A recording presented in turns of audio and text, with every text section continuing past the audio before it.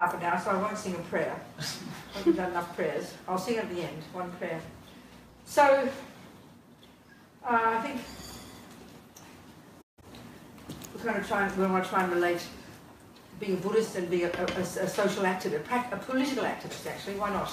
Well, you know, certainly in our Mahayana tradition, we have this nice analogy that a bird needs two wings, wisdom and compassion. So as the Dalai Lama says, compassion is the point. But that really, that I think is the political wing. That's action, isn't it? Action.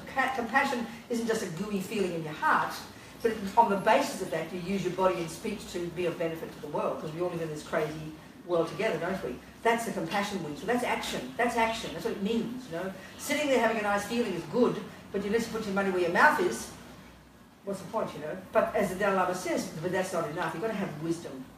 And wisdom is the nuts and really is the nuts and bolts of Lord Buddha's teachings, the nuts and bolts of understanding karma, how we come into this life programmed with our own past, how we're our own creators. As the Dalai Lama says, the law of karma is like self-creation, you know, because we know that Buddha doesn't assert a creator. Buddha isn't a creator himself. Buddha actually came you know, came from his own experience, came to this, the conclusion from his own direct experience that we've got this marvelous potential to rid the mind of all the rubbish, putting it simply, you know. That's what nirvana means. Don't, don't make it mystical like some alternative to heaven.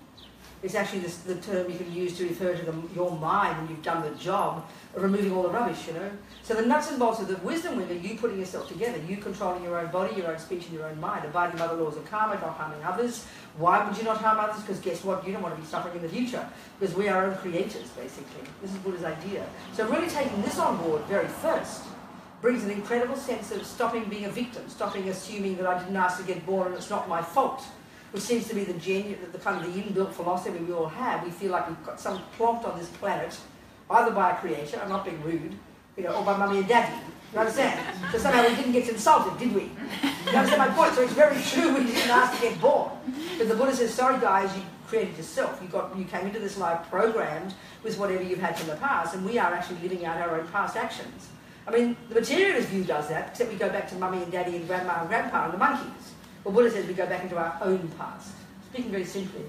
So what this brings, and I found that certainly, I know when I first heard the Buddhist teachings, really the idea of karma for me was very powerful. It, it, it, resonated so deeply. And slowly as you learn those teachings, you really start to understand that what it means is you take responsibility, you become accountable. Because what's inside you is yours and it's come from from having done it before, having thought it before, having said it before. We're the ones who do our own programming. This is really what Buddha is saying in simple terms. So that brings accountability. That stops gradually the sense of victim, not fair, poor me, I didn't ask to get born, it's not my fault. Which is the irony of ego, you know. We really look at the way Buddha talks about ego in a very simple, ordinary, down-to-earth way.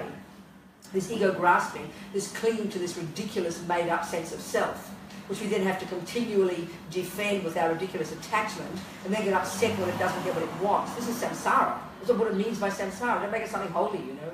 Buddha's an amazing psychologist, and that's not joking. The trouble is we repeat nice 2,000-year-old words, and it sounds different. But if you put it in our culture, it's very grounded stuff. I mean, it's not a joke to say that the mind is Buddha's expertise. Really, you know. And remembering that came from those amazing Hindus before the Buddha. I mean, the Dalai Lama, I always quote this lately, the Dalai Lama said was these Indians more than 3,000 years ago who were the ones who began this incredible investigation into the nature of self. They're the ones who created this amazing technique called concentration meditation, this shamatha technique. These Hindus invented it, these ingeniouses.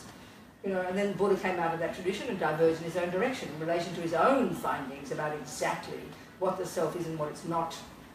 So on the basis of Buddha's own experience, then, that's what he presents. He's, he's saying, you know, you, okay, you guys, we've all got this marvelous potential to rid the mind of all the rubbish. And if you have the Mahayana view, we can also become a Buddha. We can add the compassion wing to it in a very particular way. We've got this marvelous potential. And I think this point, I want, I want to stress this point because we're so used to hearing religion, you know. If you look at a Buddhist place, well, not this one maybe, because it's not a Buddhist place, is it? But you get my point. It looks holy like a church. You sing prayers. We're monks and nuns. We, you know, do holy things, sound holy, look holy. So we can be forgiven for thinking it's the same. But this really crucial difference and it's not trying to be superior, it's just a question of being very clear if we decide we want to use Buddhist teachings. The crucial point is this, that we tend to think of religion as, as revelation, as something from on high, from a creator who is superior and who created us. Now, I'm not criticizing that view. I have immense respect for Catholics, Muslims, who truly have faith in their creator and therefore surrender to their creator and, and know it's God's will. That's a sublime view, actually, but it's not Buddha's view. And this is massively important to understand if we attempt to even like Buddhism.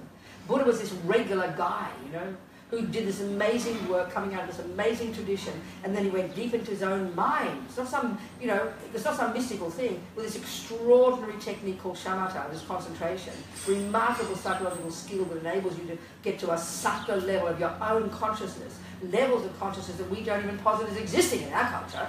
That's why we all think it's mystical. But these are geniuses, these beings. You know, these Hindus did it, not even the Buddha. He took their technique. I mean, they don't mind, they'll share. Truly. So he just went further and he went deep into his own self and he became clear there is no inherent I. There is no independent I. He came to this conclusion. It's not revelation. Therefore, it is not technically belief. Buddhism technically is not a belief system. Technically, it's not. It has the same trappings.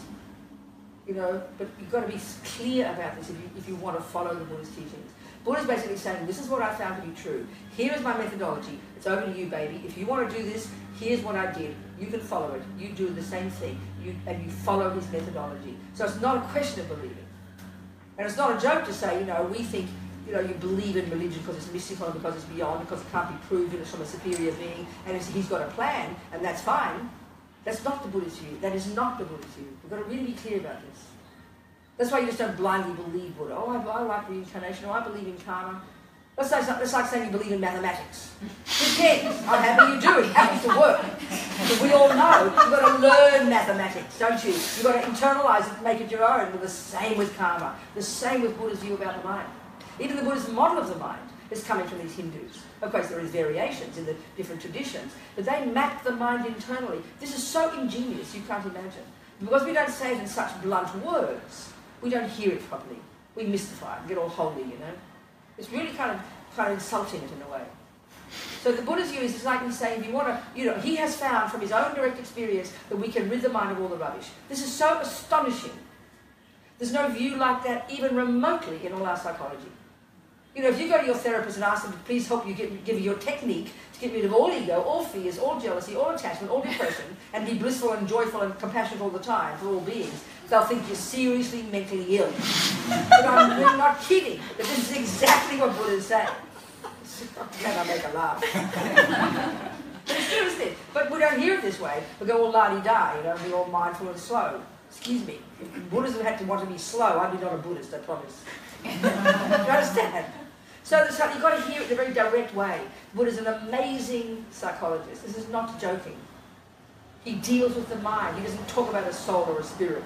He's an extraordinary being who discovered the nature of the mind. I mean, it's so marvelous to hear it in this way. We should be delighted, you know. And this is the point about Buddhism. You can be a 1% Buddhist. There's not a problem. You can be. You can take so much from Buddhism that doesn't demand thinking about where your mind is. I don't care if you think it's your brain. You can think it's your brain. Buddha said it's not. You don't have to think about karma, even if you don't want to. But if you work on your mind, if you do that part of Buddha's job, you'll be an amazing human being. Because you'll take responsibility. You'll own what's in there. You'll use your concentration, your mindfulness to recognize your own crazy mind, you know, and sort out this emotional soup. And start to lessen the neuroses and grow the goodness. Simply, it's all Buddha's saying. So then, of course, the more we do that job, which is the nuts and bolts of being a Buddhist, it's your own private work, the inner work, then what is the conclusion from this? How will you be?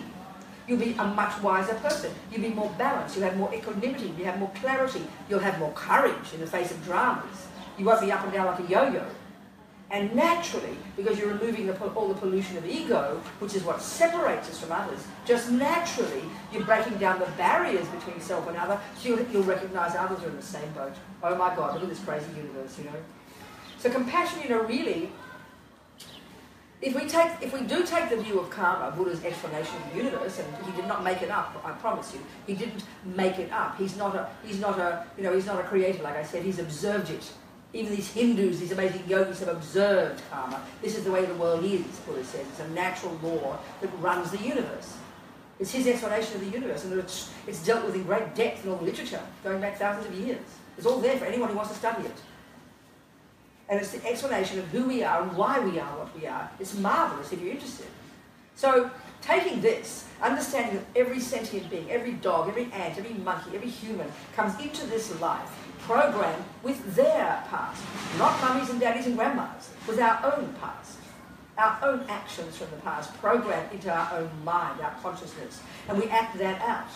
When we take this on board and we start to recognize our own neuroses, and then we start to have the courage to accept them, recognize this is causing me suffering, and you know what, I'm sick of suffering, that's, the, that's what renunciation is. You give up suffering and its causes, your suffering, and the causes that you created. This is very powerful. And then you're going can extrapolate, you're also the cause of all the goodness. This is marvelous, you know. Then you see others. And this is the basis of really having compassion. Now, right now, what's our compassion like? This is a big problem. Because we deepen our bones having the materialist philosophy, that's our world, then we, we sort of naturally assume that mummy and daddy made us, that our mind is the brain, that the, no one understands why suffering, why this, why that, why Russia, why Hitler, why blah. We don't have an answer in the West, and that's the prevalent view in our world. So then we tend to have this deep assumption that I didn't ask to get born, it's not my fault. So then the people we have compassion for are the innocent victims. And that probably comes down to a few children and a few animals. not that many sentient beings.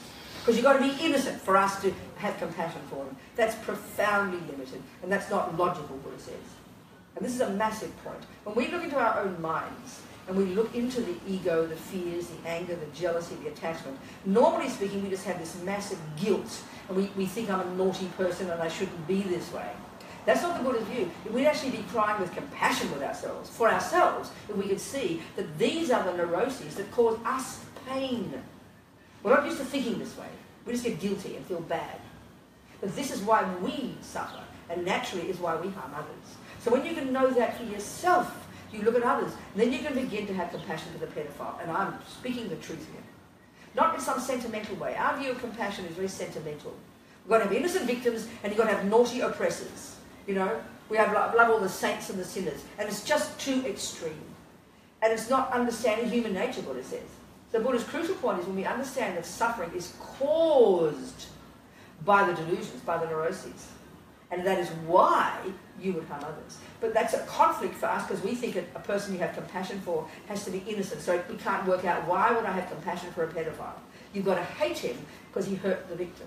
Well, the Buddha is saying the only reason a person hurts another is because they're deluded. They've got attachment and rage and anger and fears and their own dramas. But that's we've got to come to terms with that first in ourselves. And then we can have this humility of owning our own junk. And then we can see that's what others have.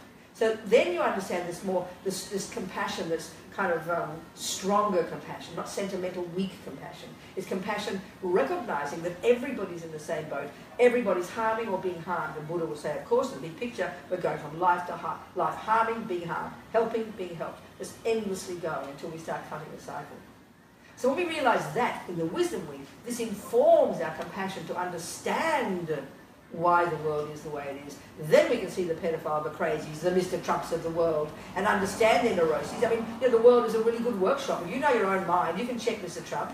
Okay, he seems to lie. Check, got that one. He seems to be attached, got that one. Seems to be angry, got that one. Seems to be arrogant, got that one. One of the practices is, you know, when I see Mr. Trump, he's a great he's a great kind of workshop. I tick all the boxes. I've got all of those delusions. Thank you for showing me how not to be, Mr. Trump. Then you can see the pain it causes you. Now you know, even though we love to hate the Mr. Trumps of the world, you can have compassion, but it doesn't mean they're, all the poor thing, can't help it. That's what we think of compassion. No, you see why the people harm others, why people are doing Their delusions cause them to do and say crazy things that harm others. And then when you have the bigger picture in karma, and it's a tough one for us in the materialist world, that we're all meeting each other life after life, doing what has been done to us to others, good and bad. You know, so when we can rejoice with karma in our own virtue and our own goodness and our own good qualities, I mean, the Buddhist view really would say, if you really realise how hard you've worked in the past, just to be this ordinary human being here with a bit of food in our mouth, a bed to sleep on, a few friends, you know, a bit of credit in the bank, this is a miracle if you compare with the rest of the universe, and that's due to our virtue. So when we can, when we can own the good stuff, which applies to the same, the, the law of karma applies to that too, and our trouble is we only tend to go on about the bad stuff. We're all junkies for the bad stuff. We always think of karma as one big stick to beat you just for the bad stuff, which is really superstitious. It's just Lord Buddha's view about how things work. And much of karma is simply habit. So when we see this, then we can see others in a better light. And then you can be wise. So sure, arrest the pedophile, put them in prison, stop them from harming others for their sake as well. So it's like, this kind of compassion is like the compassion of a mother her crazy junkie kid, you know. Everybody else can't stand this junkie kid. They think she's terrible. She's a pain in the ass, you know. Ass. We say, we say ass in Australia. No ah. Arse. anyway, excuse me. Get my point. We, everybody else can't stand that junkie. They're horrible, they're self-centered, they're neurotic. We know they're suffering, but just please get out of my way, you know. But the mother, her heart breaks because she knows that her she knows her daughter's causing harm to herself. That's the basis of compassion. So when we know in the wisdom that we are causing our own suffering, that is a basis for having compassion for others. And then you act accordingly. So this is like wisdom, and that gives strength and courage to our compassion. So I remember years ago, in 87, when there was sort of a mini uprising in Tibet, the first time there'd been demonstrations really since 1959. And all the demonstrators were the young monks and nuns. They were the radicalised ones. They were out there yelling and shouting with their placards. So naturally when we think of um, demonstrating, we think of anger, don't we? So then I remember one of my friends, he'd been arrested that year. Actually, it was very funny. He was about 17 that year, he'd become a monk, and he was demonstrating. And he, he said his mummy and daddy decided to make many Tibetans. So they had 13 babies, you know.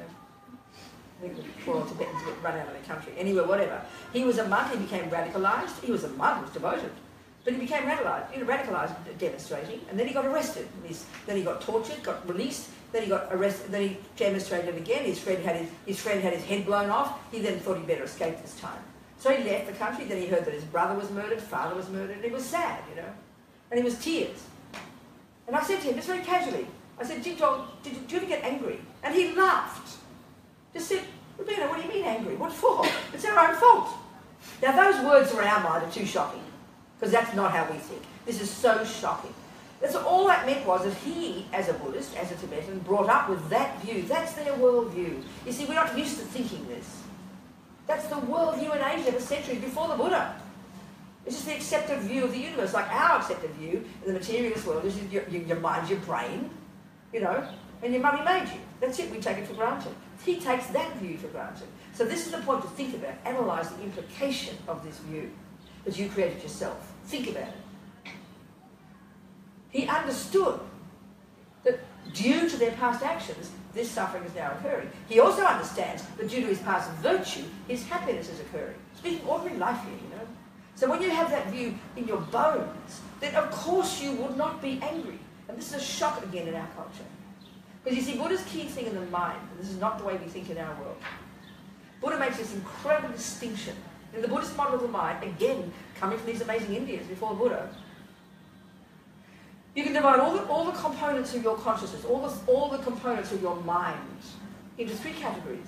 Speaking very simply, you've got these neurotic, neurotic I-based states of mind, anger, attachment, jealousy, pride, you name it, low self-esteem, you know depression. Then you've got the virtuous ones, the positive ones, compassion, kindness, generosity. We're talking relative reality here, ordinary world. Not discussing selflessness here. Then you have the third category, which they call neutral, but they really mean, these are, I like to call these the mechanics of the mind. Concentration, good memory, not forgetting things, you know, alertness. There's many of these states of mind that are crucial, that are really trained beautifully in shamatha meditation.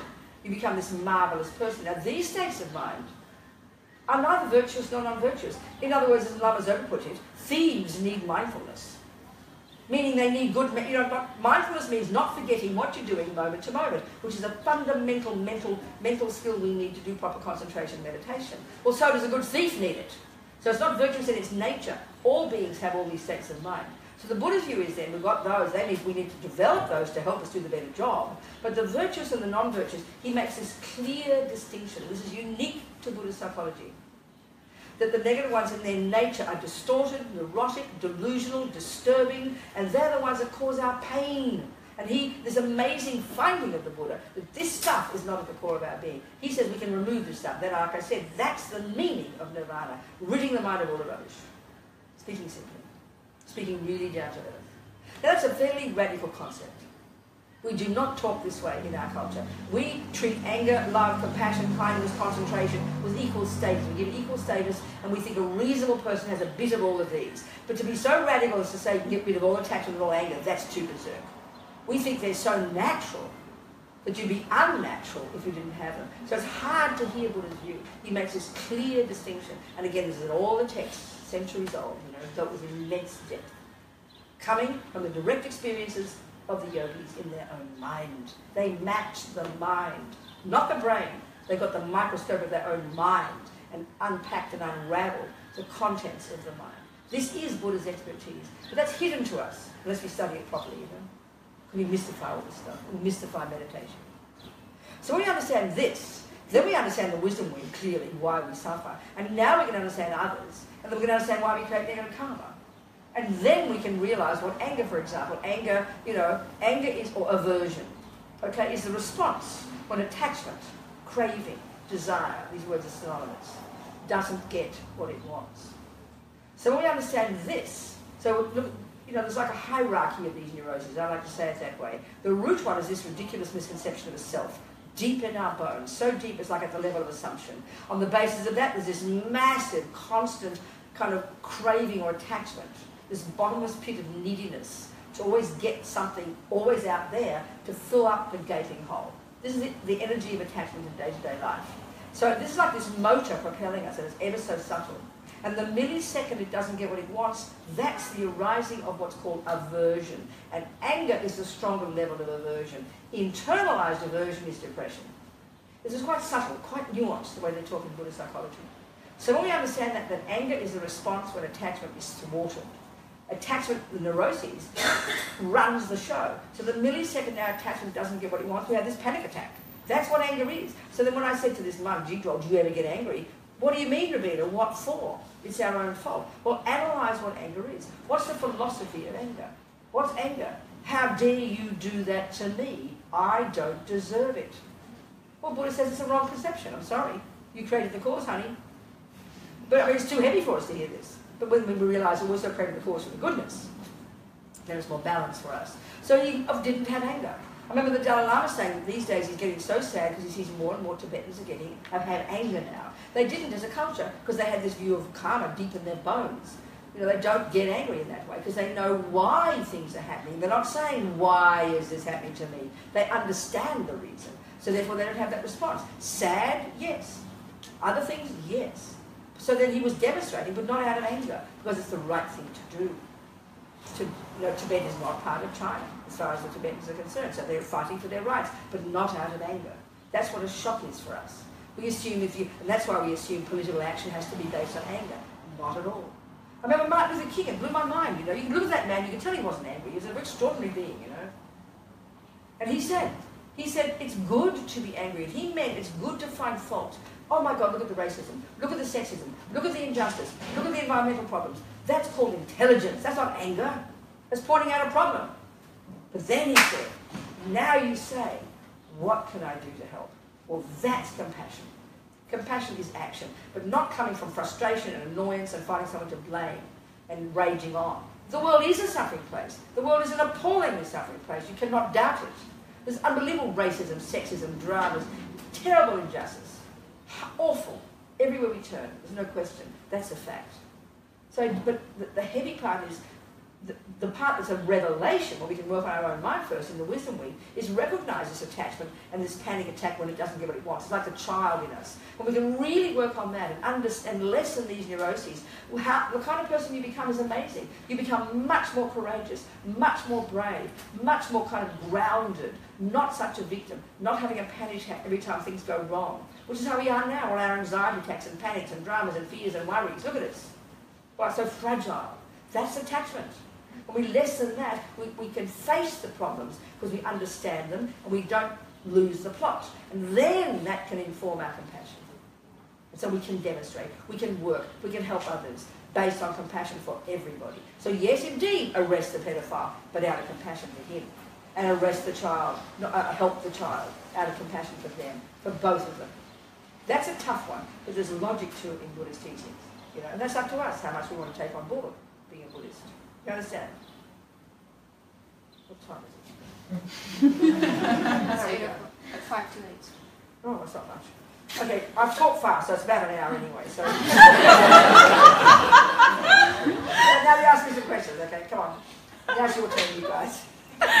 Just as well we laugh, we wouldn't laugh and cry, would we? Come on, questions, people. Now it's over to you guys. Yes.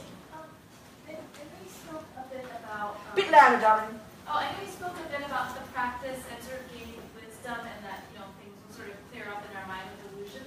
But could you talk a little bit about maybe like ethics to guide that? Like, or is there any sort of like. Well, that's Buddhist teachings. Fundamentally, junior school, grade one, entry level into Buddhism is not even to meditate. That's high school, honey. Meditate's more advanced. He basically says back off and don't harm sentient beings. Control your body and control your speech. So don't kill, don't, don't steal, or take the ungiven, as Tibetans would put it. Don't lie. Don't jump on the wrong partner. You know, don't misuse your body based on sexual attachment to harm others. And you, and, and then the other three of the speech: don't badmouth people behind their backs. Don't um, don't rabbit on about nothing. Just blur out the mouth with no thought whether the person needs to hear it, which is what we mostly do. And then don't don't use harsh words. This is seven little baby instructions he gives us. I mean, there's more instructions just to drive a car. This is seven little things he gives us as a guideline, a suggestion that we use this as our basis. And then he, then he adds to it to begin to control the grosser levels of attachment, anger, and, and, and ignorance, the three main delusions. So this is really practical advice. But the crucial point to remember here is this. This is a massive point again, understanding the way Buddhism is different from um, the usual, say, religious instructions, not to kill, not to lie, and not to steal. This is a really important point. I always talk about it. So, you know, I was a Catholic, okay, very devoted Catholic. I mean, I was naughty and rebellious, but I sort of loved God and all those things, you know. So basically, I've got a Jesuit priest friend, and I asked him, I said, what, by definition, what is a sin? So we know the answer because God is a creator. God is the boss. God made the universe. God made me. God is necessarily beyond and above. And again, I'm not criticizing. So naturally, God is the boss. So God said, don't kill. And that's why killing is a sin. The, the priest said there is some element of natural law that indeed people don't like getting killed. But the logical reason, as a Christian, a Muslim, a Jew, why killing is a sin is because God said shouldn't do it. Now this is quite intense. It's quite a powerful point. That's what makes it wrong. But you look into our world. When I was a little girl in my mother's household, and my mummy said, Don't do that, I know the reason she said, Don't do that is because she said so. It's the same philosophy. So if you think about what we mean by morality in our world, it's doing what someone on high tells us to do. So that's why we get all rebellious. Don't you tell me what to do. I'm going to control my own life. Because we assume morality is this kind of repression from above who someone's instructing, and therefore someone's going to punish or reward us. Are you hearing my point? Are you communicating with me? You sure? You, I'm, you look a bit spaced out. You, you, are hearing. Can you hear the point I make? So Buddha's point is this. It's quite shocking to hear it. He is not a creator. He is not there and doesn't assert one. So when he says don't kill, it's not because he said so. It's because guess what, guys? It's going to harm you. You're going to sow a seed in your mind. You'll program your mind with that habit, and because your consciousness will continue in the future, you're going to get the karmic results. So for Buddha, it's like your doctor saying don't smoke. You don't say, because you might, you know, you might get cancer. You don't say, how dare you tell me what to do. You are grateful when your doctor exhorts you not to smoke, because you know it's because they, from their experience, it could know it could cause you future suffering. This is exactly Buddha's point. But it's very hard to hear it because we have a very moralistic, dualistic view of morality. It's doing, you know, like trying to, you shouldn't be a naughty girl. And this is how ego works. Don't blame your Jewish mother or your Catholic mother. This is the way ego works. We have this dualistic view of punishment and reward. Buddha is not a punisher, he's not a rewarder. So basically, in Buddhism, the first level of practice is abide by the laws of karma. Don't kill, don't lie, don't steal. Why not? Because it can cause future suffering. Like sugar can cause diabetes, cigarettes can cause cancer for you. So you do it on the basis of compassion for yourself, speak simply. That's the basis of practice. So why should we control our body and speech? because Buddha says then the actions we do now, being deluded, being in samsara, we've got good actions too, we've got virtues as well. But our, mostly the actions that we do that harm others, of course, they're not based on love and compassion. They're based on getting what I want. You lie, you kill, you steal, you hurt others, you, ju- you know, you jump in the wrong bed, you steal someone else's boyfriend, because it's your own delusions. So we're harming ourselves, is what Buddha wants us to understand. This is the basis, the first step in practice. Then we can have the luxury to go to high school and now start to delve into our mind and really get to the root of the problem, which is all the delusions, the neuroses, the attachments, you know? Does that answer your question or not? Are you sure? Are you really sure? You're comfortable? Okay. Who else? Questions? Yes.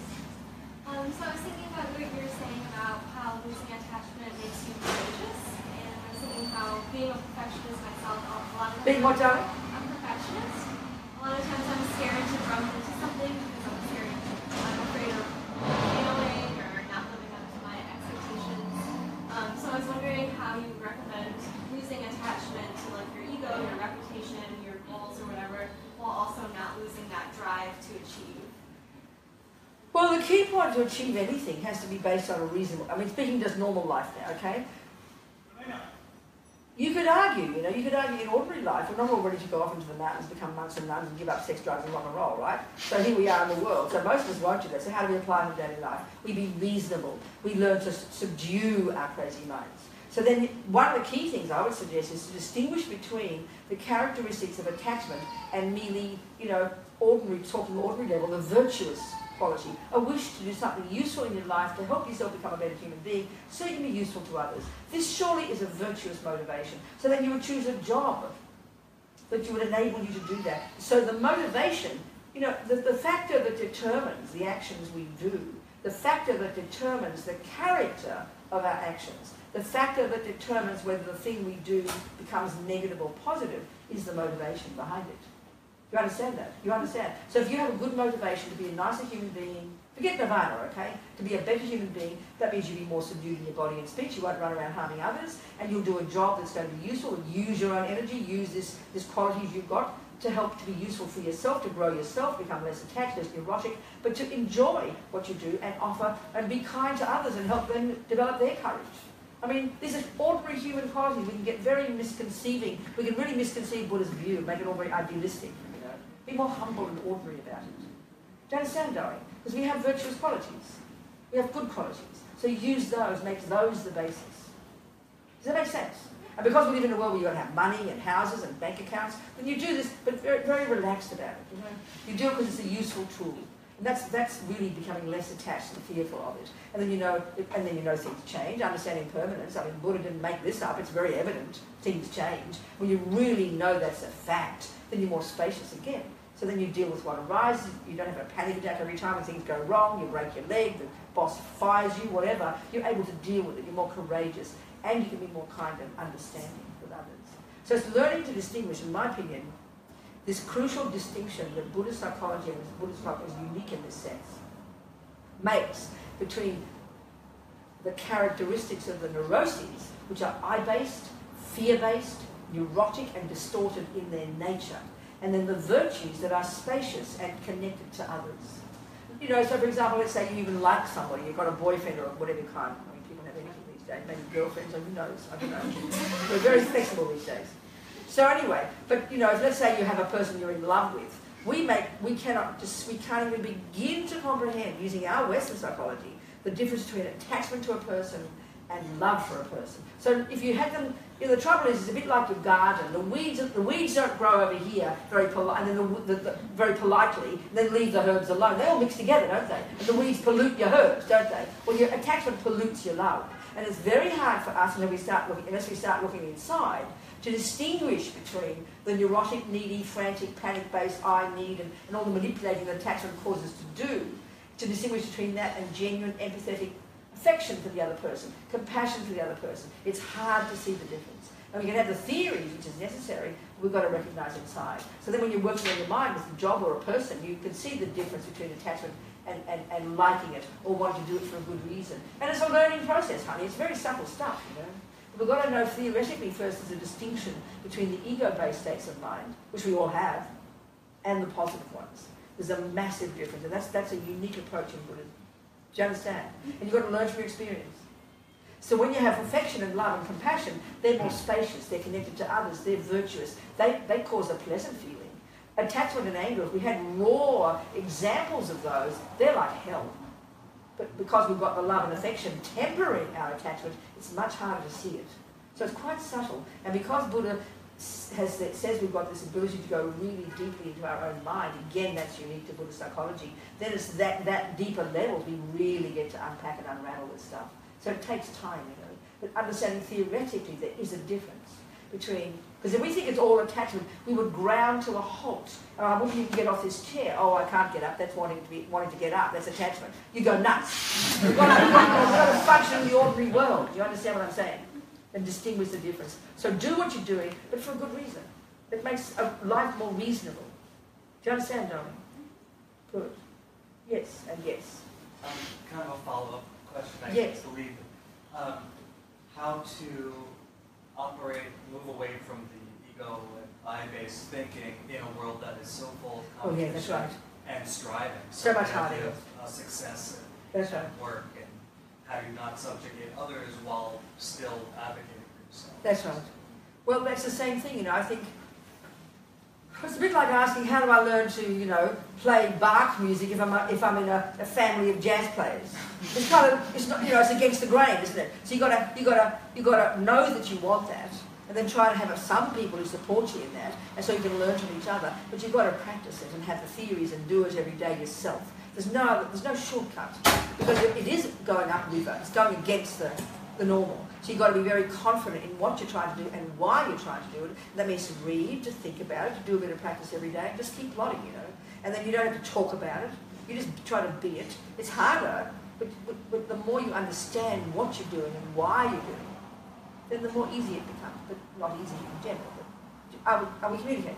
There's no, there's no other way to do it. It's very superficial you know, it won't last long. It's got to be deep inside you. You've got to really understand there's some logic to the Buddhist view how attachment and anger and depression and jealousy are your states of mind, are not at the core of your being, and you can comprehend them, and you can unpack and unravel them. That's a pretty powerful concept. Not the object of them, not the thing out there that seems to cause it, but the, the, the, the states of mind themselves, and that's a tough job, because you've got to go in here, you know, and take and be courageous.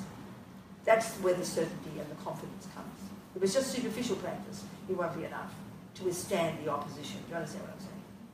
And it's not easy, so recognize it's not easy and be humble and kind to yourself and don't, don't have fantasy expectations. That's so inappropriate. You know? Do you understand? And recognize you're, you're going to make mistakes. So, you know, you learn everything. You can't, I mean, anything you learn, you're going to make mistakes. You've got to pick yourself up and try again. That's all. And keep learning from it and have confidence. Do you understand? Does that make sense? Yes. Good. Yes, darling. Beautiful answer, by the way. Good. um, as I understood it, Buddhism, Buddhism, the no judging. No judging. No judging. Right? Well, let's be careful. Let's just analyze that. Good okay. point. Say what you mean by judging. Give an example of what a judgment would be. Good, good point. Uh, no, no, in all, in all things, no preference. So, sorry, John. No preference. Oh, give an example, a simple example. Bring it right down to earth. Give me a simple scenario so I can understand what you're saying. Give me an example. My question, I have a question for you, is to understand what you said about in Buddhism is no judging. Don't judge a good or bad. No, I'm it's trying to, well, I hear your words really clearly. May I ask you a question? to really comprehend each other. I'd like you to give me a simple example in daily life about what you are talking about so we can be really clear with each other. Give me a simple example in which that might occur. Give me an example. That helps. Absolutely. For example, um, in, for example, if the clothes I'm wearing now, yes. someone will say, hey, it's beautiful. Yes. Another person will say, I don't think so. Okay, good. Because good. we all have different Different opinions. Good. Right? Now. The, great. Now the question is? Yeah. The question is, if there's no good or bad, just yes. different perspective. Yes. Which means suffering in itself is what it is. And it is part of life. It's so what's the question, darling? The question is... In that perfect example you gave, give me the question. My question is, I think then suffering in itself is No, that's a statement. Suffering. I want a question. That's a statement. That's a really good what, point. Give what, me a question. What do you think suffering in itself is not suffering? Well, that's completely confusing me. Go back to the first point. Listen to me, honey. There's too many thoughts raving on in your head. I can hear you. Go back to the first point. You said someone says what a lovely dress. Another person says what an ugly dress. So that what you're saying is that's called judgment. That's called one person saying good and one person saying bad. So now ask me a question about that. What's your question? I don't have a question about that. Well, then what's My your question? no, you do have a question because you made an assumption that you shouldn't judge. So I need to, I want to discuss that with you. So you've got to come with a question. You do have a question. You're asking, is it appropriate to say, I like that dress, but I don't like this dress? Maybe that's your simple question. You're assuming Buddha's saying you shouldn't do that. So I'd like you to, huh? What are you saying? What's your point now? My point is, um, suffering itself is not suffering. I don't know. You lost me again. What's it got to do with good and bad? Exactly. What has it got to do with judgment? Listen, honey, I, I, forget your question. I'm going to answer your question whether I like you like it or not. I'm going to answer my way. Okay. I think your misconception at a relative, ordinary level of relative life is mistaken. It is Buddha is not saying. That's like saying, well, there's a piece of cake that's got poison in it, and there's a piece of cake that will make you healthy. Ordinary level. And you're suggesting Buddha's saying you shouldn't judge. That's called nihilism. That's insanity. If you're going to think that the poison cake is the same as the other cake, that's just ridiculous, sweetheart. That, I would suggest, at the most ordinary level of life, is a misconception. Buddha is a practical guy. He would not say that. I think, you know, Buddha's got all these very profound teachings about selflessness. There is no this and no, the way he talks about the I, that's way more advanced. So forget that level. Keep it simple on the earth. It is, a, like Martin Luther King said, it is appropriate to say there is racism, there is suffering. If you say, oh, you shouldn't judge, and you see people being abused, oh, I can't judge, that can't be abuse, that's madness, darling. You've got to have an ordinary mind and open your eyes and you see this person kicking the dog. That's not appropriate. That's called suffering. You see this, you know, a politician harming another politician. You don't believe in it totally because you might be wrong, but you've got to recognize there's war here, there's poverty there. Are you with me here? That's not judgment, sweetheart. That's called common sense. Recognizing a chocolate cake as a chocolate cake and not the poison cake is called common sense. It's not judgment, but being attached to your view. That's the problem. If you're obsessed with your view that you're right and how dare someone criticize my dress, that's the problem, darling. That's the problem. It's more subtle than you're making it. I can just tell you that. Will that do for you for now? That's a Yes, back there, and then there, and then there. Yes, go. I think you just answered my question. Well, that's good, isn't it? Kill two birds with one stone. So we talk about the relationship between compassion and boundaries, but what I was hearing with her, talking about whether it's a poisonous piece of cake, I could feel compassion that it had to be a poisonous piece of cake, but doesn't mean I have to eat it and take it into my life. So give me a simpler example. Uh, give me an ordinary scenario, would you? I, I help people a lot. Okay. Sometimes, and then I'm the one that ends up suffering. Uh-huh. So I think my question is, is it's that compassion is a feeling and it's an action, but I also take it to a level of being proactive, not just feeling. Good, helping other people. So you mean like, for example, you've got an alcoholic brother and you try to help him. So give your question in relation to that scenario. Give an example. that scenario, it's like that compassion for him is being loving and caring. Right, but based upon wisdom. But honey, when it's based on wisdom, you will do what's appropriate for him, not more and not less. So our trouble now is because you know we have attachment, and when we understand that attachment in all of us is very deep inside us, and there's this little junkie inside us that only wants what I want. It's very deep inside us. It sounds very kind of shocking to say it this way, but attachment is deep, panic-stricken need in us to get what we want. That's attachment. So if I mix my attachment, if I mix my compassion for my alcoholic brother with attachment, That's what causes the problems. That's what prevents us. That's what causes to rush in, be all sentimental, oh, and help these poor people, help these alcoholics, help that poor junkie, help that gunman, and then we end up getting hurt because we've got we've not got any wisdom. So having attachment makes a mess of our compassion because it becomes all emotional. So then you start sticking your nose in your brother's business, you start bullying him and manipulating him to change because your attachment can't stand that he's an alcoholic. It's upsetting your life. We don't dare to think it like that, but that's what attachment causes. So it causes you to have no common sense and you get all sentimental, and then you, then you bring him into the house, the poor thing needs a home, and then he abuses you. That's sentimental compassion. So compassion, when it's genuine, has to be mixed with some wisdom, which is common sense and intelligence. There's only so much we can do to help people. So of course, we're at the level of the great bodhisattvas, who I remember one Lama said, well, the great bodhisattva, or the great holy beings, the great arhats, anybody who's a holy being who's got immense compassion and no ego, they will happily cut their hand off for a starving animal, and for them the action will be as inconsequential as a leaf falling off a tree. I mean, way to go, baby. That's genuine, literally egoless compassion. Such compassion. But we have to recognize our own limits. So if I can only help a person to this degree, I can't do more. That's like, you know, someone's got cataracts and you rush in with a scalpel thinking you can help them and you're not a surgeon. Well, I'll ask you to mind your own business and leave me with my cataracts.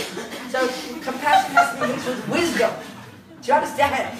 You've got to know what your capability is. And wisdom, often we do not, and that comes from lessening attachment, lessening our own fears, being more realistic. So we help as much as we can, but we can't change the whole world. We can't make it all perfect. We do what we can, but mix with intelligence, and then we don't give up. Because it's all emotion, we give up eventually, you know.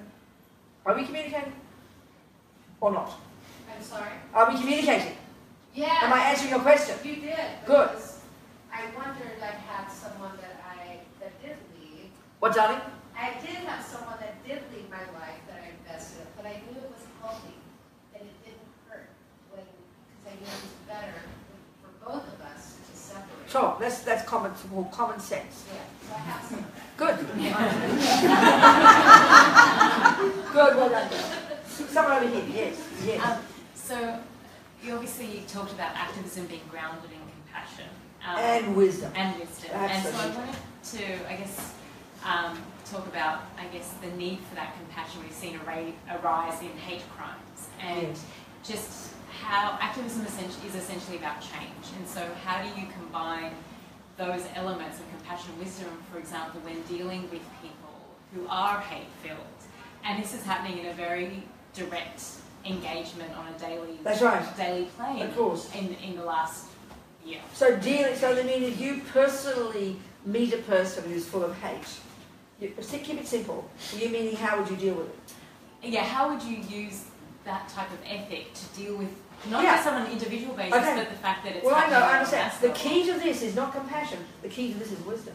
So when we can understand that from the Buddhist perspective, as we get some concentration, as we understand good ethics, as we understand Buddha's view of the mind, as we understand the way attachment functions, like this deeply instinctive, primordial panic attack junkie in there, we don't notice it's so subtle, that is frantically wanting to only get what I want.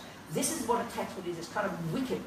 It's, but it, it and it, it's, when we've also got goodness, it's harder to see the attachment. But it, you know, do you understand? If you see a person you know who's just full, like one of the hateful people you're talking about, they are driven by their own intense need to get what they think is right. Then that gives rise to anger. Anger is the response when attachment doesn't get what it wants. So you, when you know that in your mind, then you can understand this person. Because basically, when you've got a strong attachment to your view, or your boy, or your cake, or your handbag, whatever it might be, then you, you can't, it's, it, it causes a panic attack when you're going to lose it. So that's what causes anger. Anger is the response to thwarted attachment. But honey, you won't understand that in the hateful person until you understand in your mind. So I guess First point is that. So when you lessen your attachment, what you're doing is really then practicing patience. What you see, what anger is, and it happens a thousand times a day. You know, you don't have to wait till you, you, you have a like a, a big a, a car accident to realise you've got attachment. You just drop something while you're washing the dishes. What's the response? You get annoyed, right? You get upset when you hear a loud noise. You get irritated when someone doesn't answer you properly. You get upset. These are polite words for anger, but they're mild anger. If we realise there's attachments in the mind all the time, like a motor running us, It's very subtle. Please understand me. It's always there informing everything we say and do. So what happens throughout the day, when the eye doesn't get what it wants, you get annoyed. How dare I broke a cup, kick. How dare the red light be there? We get upset and annoyed. We're practicing anger all day. So when we can see this dynamic, the relationship between attachment and aversion at a tiny level, then you get brave in the face of the red light. That's only cool, it's a red light, I can handle it. You just practice patience. You just went past the attachment to get the, red, the green light and accepted the red light. Buddha says if you can change something, go change. If you can change the light, please change it. Meanwhile, if you can't, you relax. So when you know that this is powerful wisdom wing practice, then you become more brave in the face of a hate-filled person who is really confronting your attachment. Because you, with all of our attachment, only wants the nice things. So naturally, attachment can't stand seeing a hateful person, can't stand seeing rapists and pedophiles and murderers and Mr. Trumps. Are you kind of hearing me? Attachment has a panic attack. Attachment is a little baby in us that wants everything to be nice. If we can get it like this, we understand this, then when you realise you're not going to meet nice things all the time, you're going to meet red lights and mean person, not to mention hateful people. When you understand that, you're more courageous in the face of them, and they won't cause you to have a mental breakdown. You'll know why they are the way they are, and you won't have a panic attack. And you'll be more clear in the face of it, and you'll do what you can. Are we communicating? Sure, um, and I was talking. I was asking more about that next level, which is if, let's assume. Excuse me, this is bloody more profound level. What are you talking about? Excuse me, honey, you're really missing the point. I'm talking about the next level. That's advanced. If you get this, the next activism. level. Act. Excuse me, honey, then you haven't heard me. Because you cannot act until you've done this. Please believe me. You can't possibly act properly, but based on wisdom and compassion, which is fearlessness and not anger, but clarity, understanding why it's happening, which you've got to do in the wisdom. That's my answer to you. This is the whole point. When you know clearly about attachment and anger, you will be an activist and a valid one. You won't freak out when you dare to meet some racist who thinks you're some black whatever. You won't have a panic. It won't worry you anymore. And I'm serious. That's what I'm talking about then you won't mind the hateful people. And I'm not joking. That's what my Jigdog monk friend, when he was being tortured, he doesn't have anger because he understands why they are the way they are. This is what, I, what I'm saying is profound. We, we scrape over that level. We, we don't go deep enough. Because fearlessness is what comes from working on your own mind. Then you know the world is a nightmare. You know there's hideous, hateful people. You, but you understand it then you don't have a panic attack. Then you won't give up either. As the Dalai Lama said, you know, the, the journalist said to him, it seems like anger's good, it gives you energy to fight. He said, I understand your point, but when it's anger that's motivating what we're doing, it doesn't last. Especially righteous anger, you know. All these hateful people, I'm right to hate them all. I'm not saying you saying that. Then it doesn't last. It, it, the bubble bursts and we become, we become indifferent. But he said, but if it's based on compassion, which is based on wisdom, then you will never give up. And you also won't have fantasy, like making your, you try, you're not trying to make your alcoholic brother all perfect. You know it's up to him, you can only do so much. So you don't get a mental breakdown and get stressed out and then give up. This is related to the wisdom wing, and that informs your action, darling. That's the point. Can you hear me a bit better now? Are you sure? Yeah. Cool. Yes, yes, and yes. Okay, yeah. Um, uh, just a question about will. Um, you know, these days we're given I guess, philosophical arguments that no one has free will. That, okay. that between reality and reaction there is no space. We just react. Okay. And that we're born with the karma we have and we just will unfoil and unroll. Who says this? Whose view is Well, I think the, a modern philosophical argument now modern is that we don't have, yeah, we don't have free will these days. Okay, well, first of all, can we analyse what free will is? I think we should give our historical sources here. It's a Christian teaching, so if, you, are a Christian, please use it, but I never use that concept. But we talk about it so commonly now as if it's some scientific finding. Buddha would disagree with a concept called free will. It's a bizarre concept. Free as if it's not dependent. Buddha would say it is dependent. Free will is a Christian teaching. I'm not being rude, but you know, Jesus was supposed, God was supposed to give us it when He made us. So I don't want to discuss free will. You mean what you perhaps mean is how, what is the basis for our ability to make choices? Is that what you're discussing? I guess, yeah, between reality and reaction. What, what, Instead of just mean by that. reacting. Explain what you mean by that. Well, maybe give an that's what example, give a scenario again. Okay, so so something up until, up until this point in time, I I I have no I have no way of affecting the past. So I have what I have now. That's my reality. And then if I just keep on living from this point without thought and without mindfulness, then I'll just I'll just keep on following Yeah, that's, that's what we're my, we're all doing. We're my- driven by the force of our past attachments and action. all the rest of it. That's Yeah. exactly right. That's what we. That's that, endurance. so if it's not that's free will, in that moment between reality and reaction, there is choice. Well, I can't get that. See, I can't talk that way. So how will I say it? I mean, no, no. Is there, a, is there a No. space for thought and No, it's not a question of that. I, I would say it's this. Okay. Okay, what the Buddha's saying is that we come into this life with these various karmic imprints, because we create ourselves, we try to get that concept. So one of the ways our karma ripens is in terms of our personality traits, our tendencies, our characteristics, our, our what we like, what we don't like, what we're good at, what we're not good at. Very simply, and that's it's, that's, that's called a bunch of habits. We're basically born programmed with a bunch of habits. Whose habits? Not mummies and daddies, our own. Can we hear that point? It's a really practical point, and that's our personality. Now we, we can suggest, if you want to look at Mr. Trump for who he is, we can suggest by the way he speaks and does things, we can maybe extrapolate and say what his characteristics are, his personality traits. And that's the same for all of us. So we have to look into those.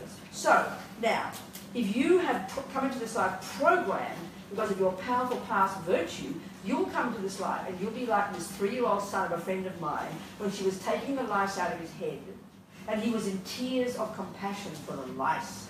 Mummy, mummy, don't hurt them. It's their home. Leave them alone. He was doing everything he could to stop mummy from hurting the lice. Now, she hadn't had time to teach him this. He's three.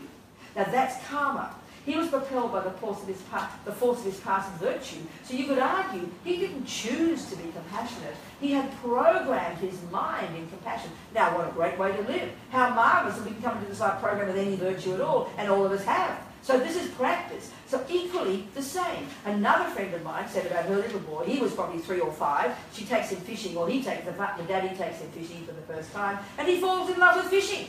So that's also karmic tendency. He followed his tendency to fish. Well, aren't we fortunate if we have virtue to follow?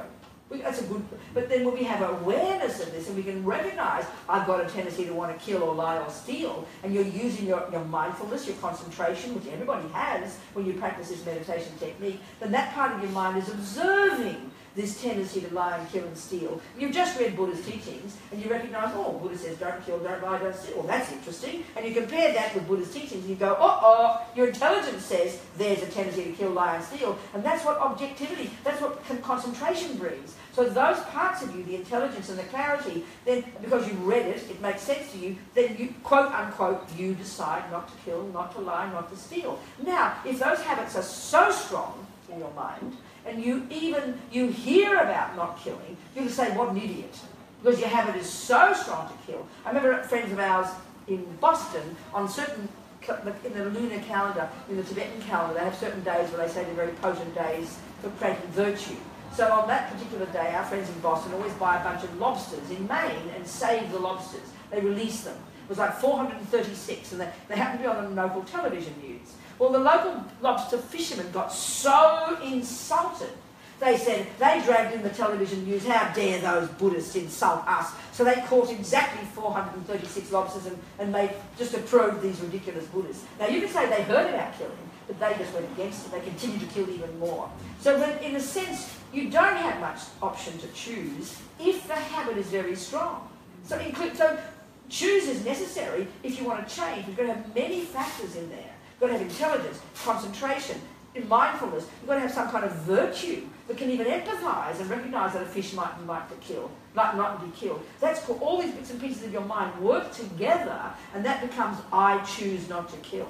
So it's quite subtle and nuanced. It's not just this ability to choose yes or no. It's more, way more subtle than that. It depends on your tendencies, darling. Do you understand my point? Yeah, totally, totally. So you've got to have, so then aren't we fortunate that we come into this life program with some virtue? That's how come we're sitting in this room. It's like a miracle if we compare to the world. And that's not to be arrogant.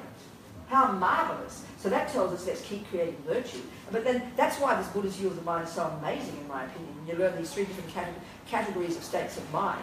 And you learn this third category, concentration, good memory. There's many of them. Alertness, there's, uh, there's recognition. There's many states of mind and they speak very deeply about these. These are like the mechanics of your mind that whether you're a sniper or a meditator enable you to do the job better. And they need to be trained. Do you understand? And that's in the meditation. Then you can use that to recognize the virtuous thoughts, distinguish from the non-virtuous. It's a type of intelligence we need. And then on the basis of that, it might be hard work. I mean, you know, look at our attachment to food. We might run around attached to jumping on little girls all day, but we've got attachment to food, baby. And that might, you might live with that till the day you die because the habit's very deep. But every day you're exercising your control, you're disciplining yourself, you to, you to eat the fourth piece of cake. And it's difficult. The habits are very deep. So we shouldn't think they should all go overnight. They won't. But exercising, that's why the first level is control the body, control the speech. The mind is going berserk, but you control and you will get the benefit from this. So it's a lot of work in there, and there's many parts of our mind all working together. It's more subtle than merely choosing, having the ability to choose or not choose. It's not totally fixed like that. Are you hearing me? It's way more nuanced. Do you understand? Good. Who else? Yes. Yes. Um, I have, I have a question about um, karma and, and uh, in the terms of reincarnation. We were talking Karma and reincarnation. Yes. So you were talking about earlier how the Buddha says that we're born pre-programmed, Yes. um, but it, it feels like a contradiction Why is that? because to assume that I have, you know, my own little pocket of self Uh huh. that is, you know, separate, you know, even before I. Separate from what? separate self from others, you know. what- Okay. So, so you think? So you mean we're not separate from others? Well, it feels like, is that, a- it feels like, it feels like that's an ego attachment to feel What like is? I have my own, uh, pa- my own past. Well, hang on a second. Um, okay. Have you got any? Have you got any skills in this life? Any Um, skills? Sure. Give me an example of one. Um, cooking. Good. Okay. Good. Good. Good. Thank you. So you can cook. Right. So where did that? Where did the ability to cook? What was the the main cause of your ability to cook today? What's the main cause of it? Uh, hunger. Sorry.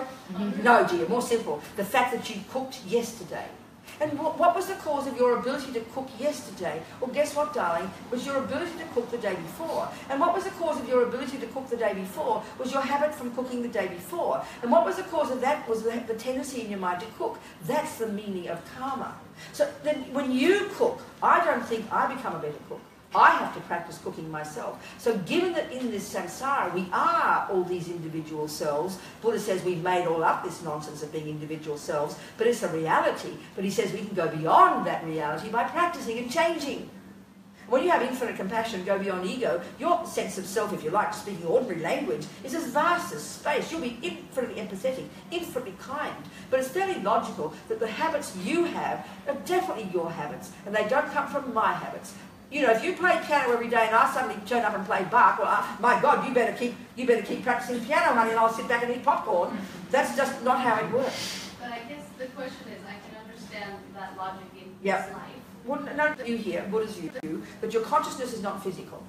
Let's just take Buddha's view as our hypothesis here. Your consciousness is not physical. It does not come from your mother and father. It does not come from a superior being. It does not come from nothing. So at the time of conception, what conception is basically is when the subtle level of this continuity of consciousness that we call yours, we, if you had perfect memory, you could track it back to an unbroken chain of mental moments, right back to the sense, the time of conception in your mother's womb, okay? If you had perfect memory, you could do that. Are you accepting me so far? If you, well, okay. You live at the, you're existing in the moment. You, you're alive, aren't you? You seem to be a live person, which means that the consciousness mixed with this body of yours, Buddha would say that's your mind. So if you can have perfect memory, you can track back every second to the day before, day before. If you had perfect memory, you could do that, couldn't you? And eventually you have to keep tracking back to when you began in your mother's womb. For this person we know here today. Would you accept this so far? Good. So that at the time of conception, what that is, is the egg and the sperm from mummy and daddy, and they work very hard to get them together, honey, I promise, coming together, and then what made that egg and sperm turn into your body was the entry the second before of, of the subtle level of this very continuity of consciousness that had existed from before, before, before, before, like a river of mental moments. And that consciousness came into those egg and sperm totally programmed with all your tendencies, with the karmic imprints that determine your experiences in this life, with the karmic imprints that even cause you to become a human being. You're like won the lottery, your mind running to that mummy, human mummy and daddy. Those tendencies were programmed in this continuity of consciousness that came from before. So then there's a billions and billions and billions of seeds in that consciousness from billions of past lives, Buddha says, but just a little baby pocket of them manifested as this particular package. Not as a lion, not as a dog, but a human body with human tendencies and certain characteristics. They are your personal tendencies. Of course they are, like today. There's no difference in the logic from you, you came into this life with compassion like that little boy. That's because he practiced it before. Mozart clearly has practiced something like that before. Mr. Hitler has clearly practiced something like that before. And we come programmed with our own stuff. Not mummies, not daddies, not the monkeys, not the creators, not coming from nowhere. That's a lot of spelling out karma. So there's a tiny Huh? So Does. Buddhist belief, or is there, uh, what is, what is the, the the Buddhist view on this, uh, this conscious, uh, continuity? What's that? Conscious continuity blend with other consciousnesses? Well, you can ask your own self that same question, darling. When you cook, I don't suddenly become a better cook. It proves we're not blending. But before I would But darling, if you blended with other consciousness, you'd end up with a Hitler's tendency. Oops, got the wrong one. What a pity. It's a bizarre concept. Consciousness is very personal. It's programming this mind with a bunch of habits. Whether it's this life or past, the, the, the tendency is the same. It needs looking into. And it's not a belief, it's Buddha's, it's Buddha's experiential observation that this is how it works. That's why he says, don't believe me. Go check it out, learn the theory, and then eventually you'll realize this yourself in your own mind. That's the Buddhist view. It's dealt with an immense depth in the literature, sweetheart. It's enormously built in. The way this works. And this is the part that's shocking to us. This, Buddha says this is a natural law. That's like botany is a natural law. No one made botany. No one made mathematics. You know, the clever Arab guy back before he went against that silly Italian lot with their X's and their V's and their I's, and he came up with zero to nine. What a clever guy. He didn't, he didn't create, this is a major point, he didn't create mathematics. Mr. Darwin, whoever it was, or whoever it was, the other one, didn't create gravity. They simply used their intelligence and they observed the laws of the universe and articulated it. We call that science. Buddha says the same about karma. He has observed in the subtlety of his own mind that this is the way things work. This is why happiness, this is why suffering, this is why dogs, Hitlers, humans, everything. It's a vast philosophy. I'm trying to give the simple explanation of it. Are we communicating? A little bit. Good job. It's all in the books. It's up to you to study it. yes, go on. When dealing with a person that is very selfish, Yes. is is it more are we to have more compassion towards them or create boundaries? No, darling, there's no contradiction. You see, that's the point. There's an assumption. That's a very good question. The assumption in your question is that compassion is all soft and gooey and you bring the person in. That's like having compassion for a python and inviting it into your bed. I think you'll wake up dead, baby. That's stupidity, not compassion. That's what I meant before. So compassion is understanding a person's suffering, but the crucial point, darling, is knowing their mind, which is what causes them suffering. So if a person is like a real junkie, a person is a rapist, excuse me, keep out of their way. That you have compassion, you realize they're driven by this crazy habit, but you'd be very intelligent to keep out of their way. So if there's a person in your life who's very selfish, you do not criticize, but you are fortunate that you can see that they're very selfish. Don't dump too many things onto them. Recognize that you can't handle them right now, so you keep a distance. That's called wisdom, darling. Are you hearing me? This is the wisdom wing. That's what I'm saying here before. That informs your ability to have compassion, to know how to help a person. And often we can't help anybody. And that's where we uh, are in relationships, let's say, and you, you know, you're attached to the partner, but the partner goes off and cheats at other people and they drink alcohol. Oh, the poor thing can't help it. Oh, they really mean well, and you keep getting bashed up every day. That is not kindness, that's idiocy. And that comes from attachment, darling, from foolishness, not from intelligence, and therefore compassion is stupid. Or like the compassion that a mother has for their kid. Defending everything they do, that's not compassion, that's attachment. So compassion is, is got iron in it, because it's based on wisdom and knowing your own capacity. Do you understand, darling? So important, I tell you. What else? Yes. When we were talking about uh, this concept of, of self and, and things being programmed in each individual, it reminded me of, of a concept I was trying to get a hold of, um, Ah. and I haven't been able to, Ah, um, that of uh, codependent origination. Dependent arising. Yep, that's Buddha's Yeah. teaching. That's the one, baby. So can you help me understand it? I, just, I, Oh, I God. don't get that in the last five minutes, we're going to talk about emptiness. What's the time? What's the time? Eight forty. Eight forty. But we're late. Yeah. Oh, we've got to go home then. so can I have 10 more minutes? Boundaries. Yes. We've got to go. If you can explain the critique some part in 10 minutes. I'll try to. Okay. So listen. Okay. Well, Buddha's really, you can say Buddha, there's this really nice way to understand reality. All the stuff we're talking here, by the way, this leads us to the teaching of dependent arising and emptiness. This is the heart, this is where Buddha went. This is where he diverged from the Hindus. That's how deep he went in his own mind and he came to his own observations about how there is not even an atom of any independent self in there, which is where he, he diverged. So this is, so the key way to understand that is to understand the, so that's what they call ultimate reality. Then you've got conventional reality, and every talk, everything we've been talking here is conventional, regular daily life. Don't get the two confused, you know? So then conventional reality is that everything is a dependent arising. Buddha says this is the fundamental law of the universe, that everything that does exist conventionally, a cup, a toilet, a carpet, a person, they exist in dependence upon various factors. So one of them, that things exist in dependence upon causes. I remember one Lama, he talked about the, the, the phenomenon called Robina. And that's why I remember, of course. And he said you could say everything in the universe up to the first moment of Robina is a cause and a condition for the existence of Robina. Because it's a logical thing that what is existing. So what Buddha is saying is this. We grasp this delusion in us, this ignorance in us, this ego grasping, believes this an independent, real, solid little me in there. And that's expressed in the way we think. I didn't ask to get born. We really feel I'm a uncaused. It's, I'm an, an innocent victim is a person who didn't do anything to cause anything, isn't it? Well, Buddha says that's utter nonsense. There's some, there cannot be something that happens to you that you didn't cause. That's a logic for the Buddha. That's karma. So thinking about causes and conditions called karma is a powerful way to loosen the grip of the feeling that I'm this innocent victim. So dependent arising at the first level is, guess what, honey? You're the product of causes, not external causes.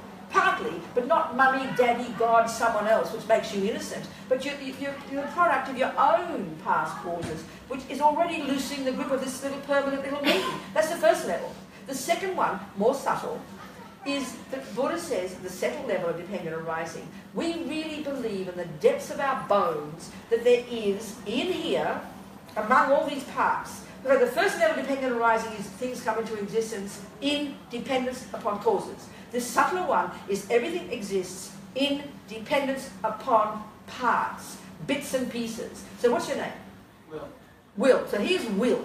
You're an example of a person. Conventional reality we're discussing. This is an example of a carpet. I'm an example of a nun. There's an example of a man. So we're examples of, a person. So you're a person, conventionally. So this subtle level, Buddha's saying, deep in our bones, this ignorance causes us to totally believe that there is in here somewhere, somewhere among the bones, the blood, the pipi, the kaka, the anger, the jealousy, and they're all the parts of, of will, aren't they? Would you agree will is made up of bits and pieces of the body and bits and pieces of the mind? Would you accept that? Sure. That if there's only body, there's not will there, and there can't be only the mind until you're an enlightened, you know, enlightened being. So a combination of body and mind are the components of the thing called will. Clay and paint and a handle and a base are the components of a thing called a cup, right?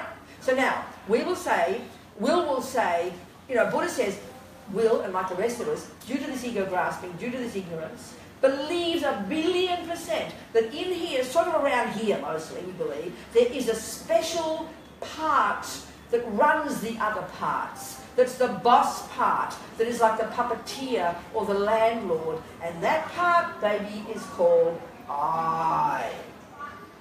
We believe that in the depths of our being, and Buddha says, don't be ridiculous. First of all, there isn't one, but guess what, honey? You don't even need one. So you know, so that what? So listen to our language. We will say, I have a hand. Now I said two phenomena there, didn't I? I said one called I. Would you agree? I said I. That's one phenomenon. Do you agree? Then hand is another phenomenon, right? Do you agree? It's the hand. So that's two phenomena, isn't it? Well, where's the I that owns the hand? Excuse me. It feels like two things. I did not do that. You harmed me, we'll say. It's, it's a belief in here. There's this little kind of naked, little kind of self-existent, real little I that is the puppeteer that, that owns the nose and has the anger and does the loving and gets tired and is fat and is lazy. We believe our language expresses this. Buddha says that very dualistic language is an expression of this misconception. It's a complete nonsense. But hearing it is hard to hear. It's really hard to hear this. So give me, we'll do a little workshop. I might be more than five minutes, okay? a little bit longer, I won't take a long. So, if I say to you, if there was some phenomenon here. Oh God, where's my cup? I forgot to drink my tea. Okay. if I say, I, I have a cup and a, a, a lid. So if you've got, if, hopefully our words are correct, right? When we speak words, they ought to be reasonable. That means you've got to prove what I say is relatively true. So to look over here, and you're going to prove pretty quickly that there are three phenomena I just mentioned. Would you agree with that? There's a lid, an eye, and a cup. Do you accept? And then I spoke the truth to you, didn't I? Good. Now, that means that these three phenomena exist without depending on each other. That means there are three separate phenomena. The cup, if it breaks, the lid is fine. If I walk out the door, the cup is fine. You accept that on a simple level? It's reasonable. And that's de this dependent arising here is these don't depend upon each other for their existence, do they? Do you accept that? Now, good. I will say to you, I have a nose and a hand. So do you agree with that? As a conventional statement, you can see that Robina has a nose and a hand. Right? But the Buddha says conventionally, for that to be a conventional reality, you've got to find three phenomena that are independent of each other, separate from each other. And we believe there are. So let's prove it. There's my hand. Would you agree my hand can function without a nose? Do you accept that? The function of a nose is to, you know, snort. So my nose can snort fine without a hand. You agree with that? Can you accept that point simply? Can you hear my point simply? It's harder than the other one, but yeah. No, no, it's not complicated. Listen, not these first two. The hand does not need a nose to, to hold my cup of tea, does it? My nose does not need a hand in order to blow my hand with this one, does it? My nose. So there's two phenomena that don't exist in dependence on each other. That's a reality. Now, look for the third phenomenon, please, called I, that doesn't depend upon a hand that doesn't depend upon a nose, that doesn't depend upon the PP and kaka and all the other bits. We believe there is. So if we did a little meditation, sort of pulling apart the components of will, you put the nose here, the eyes there, the piece of the PP, the kaka, all the atoms of the bones, then you put all your pieces of anger and jealousy, you put your pieces all out there, and our belief is we'll find this little naked, self, this little, naked little will who's been found out as the boss in there, hiding away. Buddha says, you will not find such a one.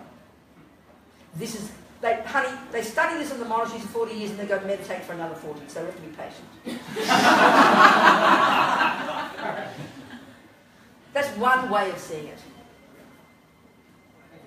So to think about dependent arising, as they say in our tradition, is the king of logic to understand the conclusion.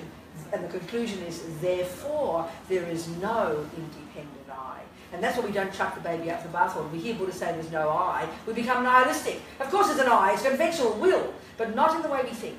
It's quite subtle and nuanced. There's no independent. Very simply, there's no I in there independent from your nose and your brain and your body and your eye and your anger. So you can't say you don't exist. It's sort of like that. But you can't say there's a, we want, we don't realise, we want to point out an isolated, independent, intrinsic, ha ha, there it is. That's a misconception. So it's real subtle stuff, but it's not fantasy yogi talk. And it's quite subtle. And all we talked about so far leads to this. And so the conclusion from this is what? This is the point. When you realize selflessness, there is no fear. This is what's amazing. When you've gone beyond all the neuroses, done the work of controlling your body and speech junior school, done the work of controlling your mind high school, now you get to this one. This is when you can go beyond the delusions, and in a sense, speaking very colloquially, when you realize emptiness, you become your real I, if you like, infinite, wise, in terms of being in the body, wise, compassionate, compassionate, marvelous, action, no fear, no anger, no neurosis. I mean, that's practical. I'd love to be like that, please. Do you understand? Yeah. Okay. I'll Let's finish. So I want to sing a prayer now, at the end. so this little prayer is just expressing with two in Tibetan. One is expressing, we call it a dedication. So it's just kind of saying, see, given that Buddha says not a single thing we hear or think or say or smell or touch or see goes astray, everything is stored in our mind. So we, how marvellous, we live hour and a bit, all these things we've heard, May we sow the, these marvellous seeds we've sown. May we continue to nourish these seeds from this moment forward with our practice, our effort, our goodness, never giving up on ourselves, never giving up on others. So we can become this marvellous being, free of suffering, so we can be of benefit to others as long as we give, you know. And then the second little prayer makes the aspiration, may compassion grow and grow in the hearts of all. And I'll sing it to them.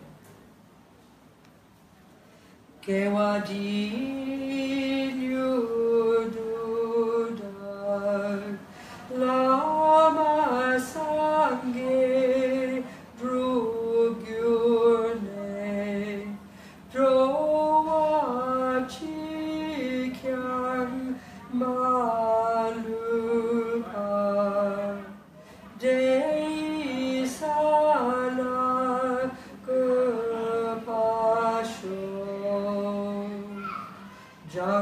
Joseph poche, ma ke Panam Ke Gyuchi, Ke Panyampa Nepayang, Gong Ne Gong Dugavasho.